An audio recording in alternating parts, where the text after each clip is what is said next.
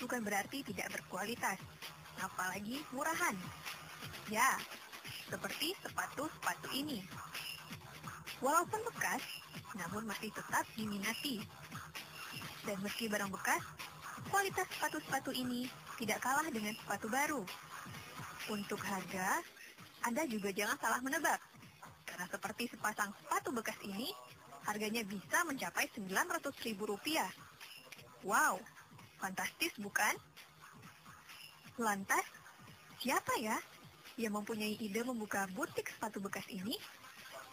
Ya, dialah Enten, warga Bandung, Jawa Barat, memanfaatkan garasinya menjadi showroom sepatu bekas ini.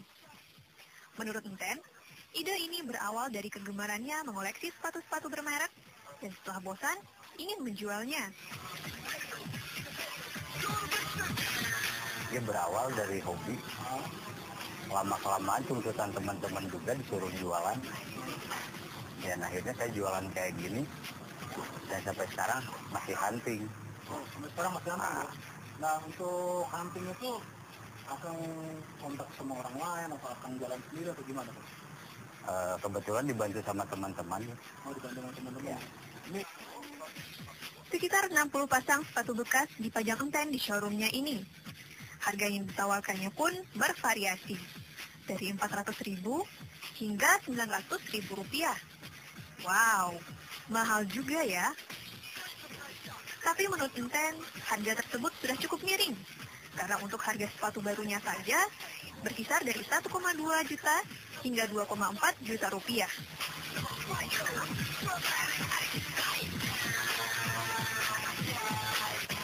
Wah, selamat siang Ten. Selamat siang. Katanya di sini dengar-dengar uh, jualan sepatu second ya Kang ya? Ya. Nah, saya butuh sepatu second tapi masih berkualitas nih Kang. Kira-kira uh, menurut Kang rekomendasinya apa nih?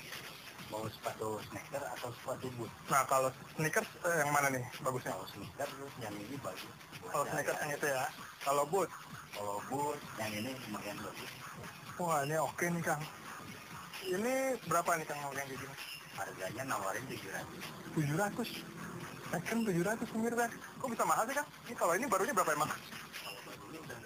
Udah nggak produksi. Ya? Kalau, kalau kenapa bisa mahal Kang? Karena mungkin eh, nyarinya susah ya. Carinya susah ya.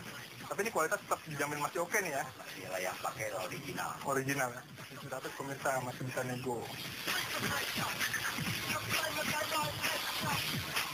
Meski harganya relatif mahal, namun dalam sebulan, Enten bisa menjualnya hingga 20 pasang.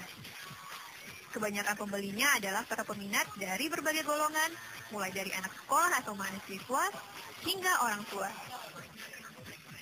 Bahkan, ada salah satu pelanggan Enten yang mengaku sudah menggemari sepatu bekas sejak ia masih duduk di bangku sekolah 14 tahun lalu. Kalau yang baru kebetulan harganya lumayan. Terus eh, kalau buat dipakai enak yang second.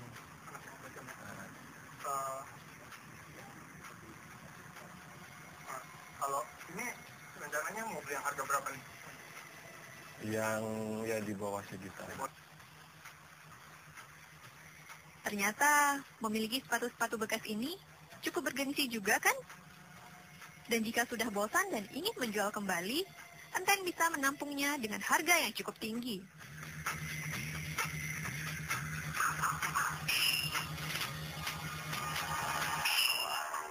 Nah, ini berapa nih, Kang?